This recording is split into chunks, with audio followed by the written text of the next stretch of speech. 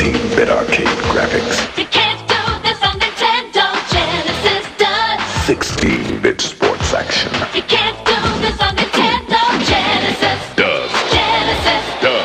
Genesis. Does. Genesis. Does. Genesis does. Get Joe Montana free, Pat Riley free, Buster Douglas free, Super Monaco GP free, or Columns free. What Nintendo? Buy a 16-bit Genesis system between now and October 31st and get an extra game.